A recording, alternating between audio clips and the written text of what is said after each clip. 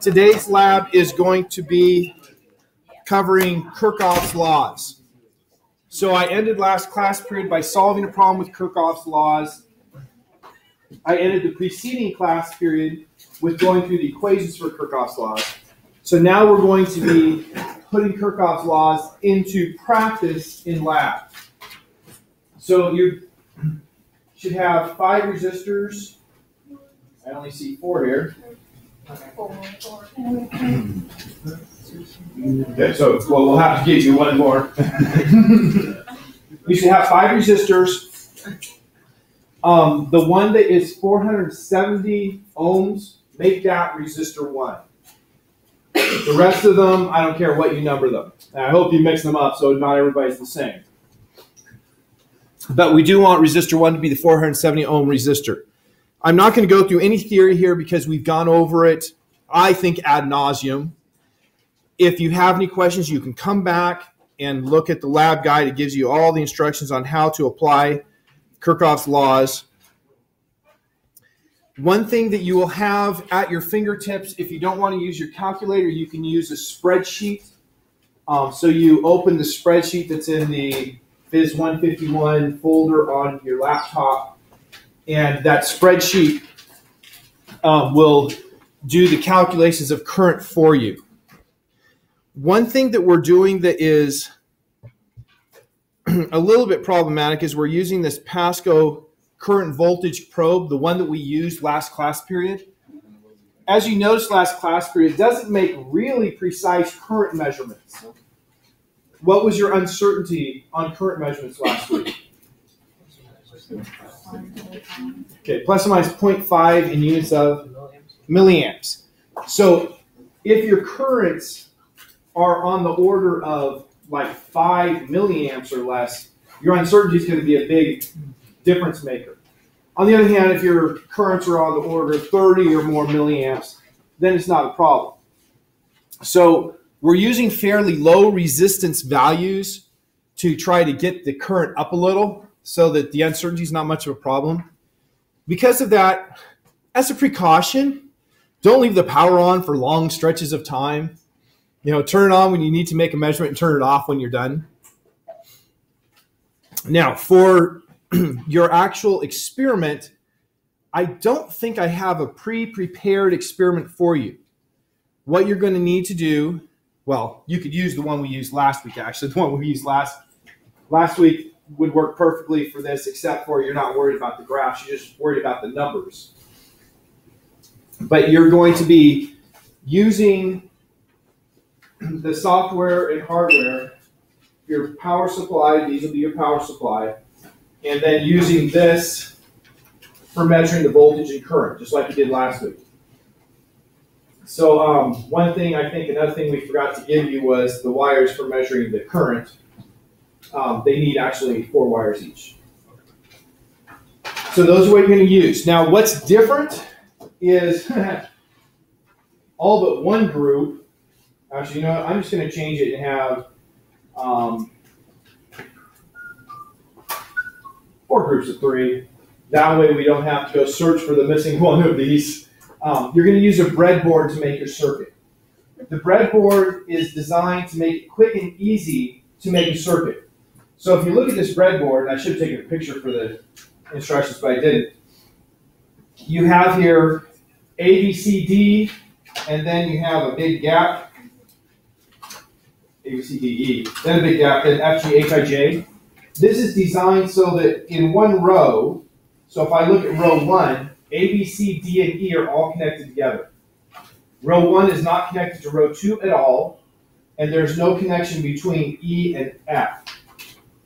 The spacing is such that you can put a computer chip on here, you know, and then you, well, hmm, not the ones like on a computer actually, but a microchip on here, and then you can put wires to connect with different pins. So when you're making the circuits, put your resistors on here just like in the picture. So if we look at the first circuit you're making, oops, it was on the bottom of that page. It has a power supply, EMF1. What voltage should it be? Doesn't matter. 10 volts, 6 volts, I don't really care. 10 volts will give you more current, so it's probably going to give you better results. So you can have that power supply. You can just run wires from the power supply to these posts up here, and then you loosen it up. There's a hole, so you can take a little wire. Uh, I don't know where the little wire. Oh, they're up here. You can take a wire and stick the wire through the hole in the post. Make sure you do not put the uh, insulation in the wire through the hole because then we'll have insulation not have good contact. And make sure you have better dexterity than I am showing right now. Otherwise, you may never finish the lab. Still missed. Okay, got it through there. I tighten this down so that I'm pinching the wire against the metal. So it'll make good contact. And then this would then allow me to take that one that says ground, and I'm going to connect the one that says ground to this here that has blue. These here are called buses. Where it has the blue line, they're all connected right above it or right beside it. So this one here, each set of five that's right above the blue line is connected together all the way until the blue line ends. Hence, you can make a lot of connections onto that. So there I have my positive voltage, and then I put, or my ground, and I put my positive voltage on the red bus. And then I'll take a wire and go from my positive voltage to where I have the first resistor. I don't even remember whose resistor I stole here. Yours. Sure? I think it's his. It's his. So in that picture, resistor one is horizontal. So I'm going to take resistor one and put it here. And then it has resistors two and three. So just to be consistent, resistors two and three go vertical. And so I'm going to put, okay, got to turn so I can see it. I'm sorry. I'm Going to put this from the same row. I'm going to put this going I to I1 to I6 is what I chose. Make sure you push them in so they're going through. It has in there pieces of metal like this, and you have to push them, and it pushes the metal apart. So make sure you push it in so you push that metal apart. So there I have resistor 2 in, and now I'm going to put resistor 3 in the same way, just in a different set of holes that are connected. So here I've made the circuit, and when you look at it, you say, ah, I know which one's resistor 1, resistor 2, and resistor 3 because it looks the same as the picture up there. Right, that's the goal with this. You have the breadboard, it makes the circuit, and you can identify things because you lay it out easily. So then I need to connect my, my ground. My ground actually would connect here, and my positive power would connect there, and I'd have my circuit complete. Once you build your circuit, we trust now that you know how to build the circuits, and we're not going to come around and check your circuit. You're going to measure the voltage across each thing. So in this, I have three resistors plus a power supply. So I can measure four voltages, the voltage of the power supply, and the voltage across each resistor. Then I'm going to measure the current through each one. Now, when I measure the current, what's the key for measuring the current? It's in series. It's in series, so I have to break the circuit. Now, some places are easier to break than others. For instance, if I want to measure the current coming out of the power supply, well, I can break it right, you know. Well, make sure you're on the correct side. This here is my ground side, but I can break it on the ground side and put my ammeter so the current arrow goes into the positive on the current meter and comes out the negative, and so I just break the circuit, put it in there. For other pieces, like for measuring the current through resistor 2, I need to pull out one side of the resistor so I've broken the circuit. And then because my current arrow, I'm likely going to make the current go down through that, right? You do have the choice, and there's no wrong choice here. But if I choose to make the current go down, then the current should be coming out of this, so I'll go from here to the positive of my voltmeter. So I go like, hmm. And then I have to just take this, clip it to a little wire, and stick that wire in the place that I pulled the resistor out of. Then I've completed the circuit, putting the ammeter in, and I measure the current. Make sure you pay attention to if it's a positive or negative current. Right? Don't just put them all as positive because you might have guessed wrong. the second circuit that you're building here, the lower one, you probably can guess right on all but one of those. But current three, it depends on the values of each resistor if it's going left or right. That's so you have to make a guess, and you could have a negative or a positive. Because I want you to deal with what happens if I guess the wrong direction, you get a negative value for the current, and you're like, great, it's just going the other direction, no problems. So you're going to measure the, the voltages across each resistor, the currents through each resistor, and then you're going to use Kirchhoff's laws to solve this circuit using your actual resistor values. How are you going to know your actual resistor values? Actually, for today, not through the colors, not with this one that's not working, but with one of the other, they're in there, um, multimeters. Are, are they still in here? They're in here. Thank you for being not as blind as I. Okay, um, you're going to measure the resistances for each one using those. So put down the color code and then measure the resistance and record the resistance with each one. So you'd say R1, color code is blank, blank, blank. Nominal value is this, measure resistance, and that's the value So you're going to solve the circuits, put the equations either into the spreadsheet that's provided for you or your calculator if you're comfortable with it by now to find what the currents should be.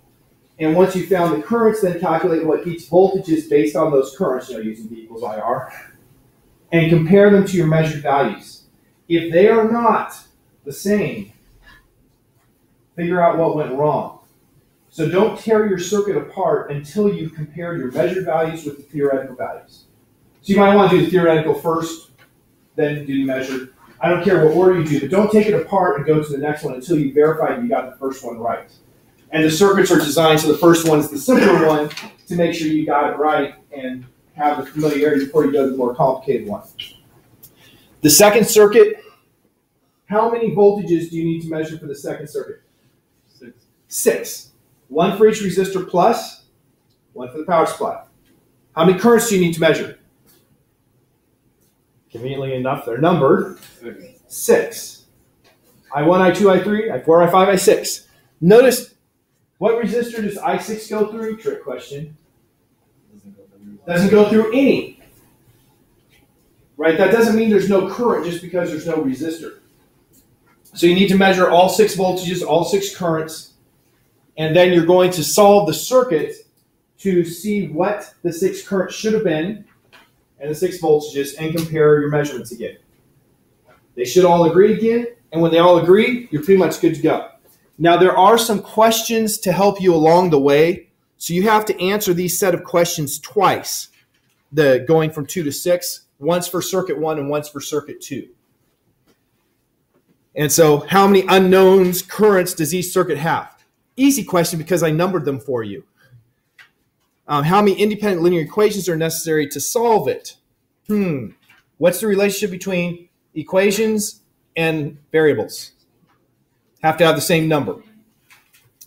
How many essential nodes does each circuit have? So you look back and you identify the essential nodes. Remember, essential nodes, let's come to a circuit that you're not doing. Essential nodes are places where two or more wires come together. So in this circuit, 13.1, how many essential nodes do I have? Two. Where are they? A, B.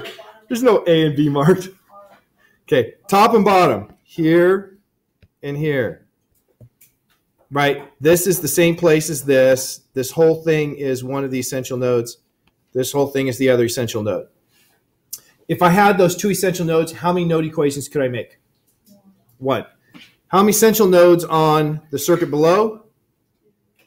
It once again only has two because its essential node is where three or more meet.